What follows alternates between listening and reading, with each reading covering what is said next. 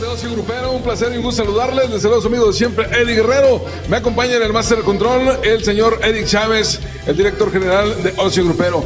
Esta tarde noche estamos de lujo, estamos contentos, estamos, pues bueno, de alguna forma muy, pero muy emocionados de poder entrevistar a una nueva propuesta musical. Ella es una intérprete de un género que ustedes van a conocer muy pronto acá en San Luis, que de hecho ya está sonando. Pero bueno, vamos a presentarla y vamos a platicar con ella. Buenas noches, Isa, ¿cómo estás?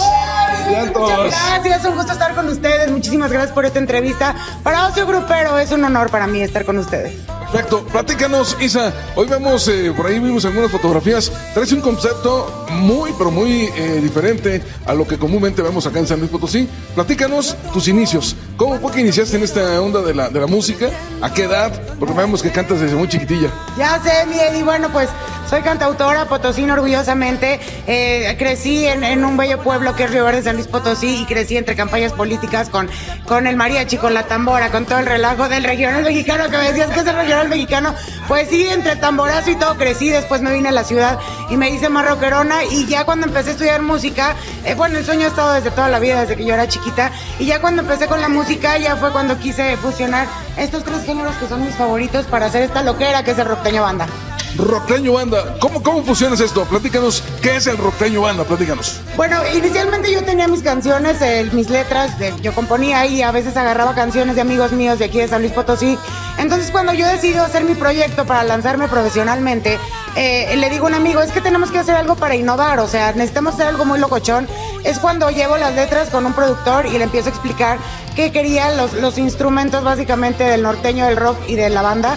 Y así fue como se fue logrando poco a poco, porque la verdad batallamos un chorro porque no me agarraban la onda de esta loquera, pero bendito sea Dios, fue saliendo. Y bueno, la estructura básicamente es el norteño banda y el, del rock está la guitarra eléctrica, la batería un poco pesada y bueno, mi voz que no es como un regional mexicano, Eddie. Perfecto.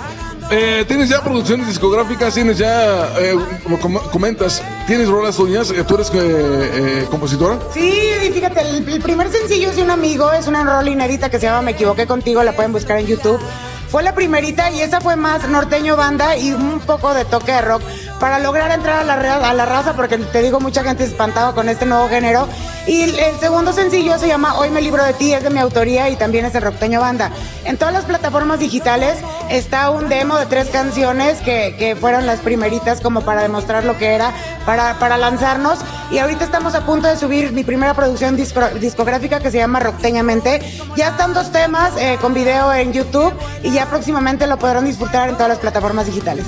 Exacto. ¿Y cómo, cómo te sientes tú de estar pues innovando en esta onda, no? Y sobre todo que eres, eres una dama, vemos eh, con, con, mucha energía y, y, con mucha pasión, ¿no? De lo que tú haces. Ay, sí, Eddie, pues ha sido un camino bien difícil. Soy artista independiente, era, era artista independiente hasta que hace poco, bendito sea Dios, una empresa de Laredo, Texas que creyó en mí y estamos empezando a trabajar con ella, es Janus Productions este, un señor, un gran señor que, que, creyó en mi talento y este, y ahora hoy por hoy me está apoyando y, espero próximamente estar ahora sí pisando ya Estados Unidos con esto del rockteño banda y ir a demostrar lo que de verdad somos, Eddie.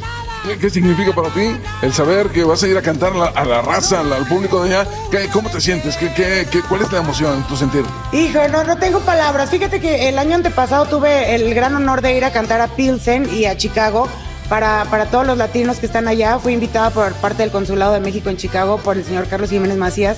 Y estuve allá y no, hombre, y el, el, el, estar pisando el gabacho y que la raza responda a ti y, y, que se sientan orgullosos de que te vayas a presentar por ser mexicano es, es algo que se lleva en el corazón y no se olvida. Entonces ahorita estoy súper emocionada por ir a, representar, obviamente, a Río Verde, San Luis Potosí y a México, a esta tierra para todos los paisanos.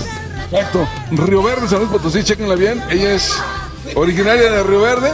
Y la neta, bueno, pues hay muchísimo talento. Vamos a ir a checar un video, vamos a ver uno de tus videos. ¿Qué nos vas a presentar? ¿Qué le vas a recomendar a la banda que nos está viendo?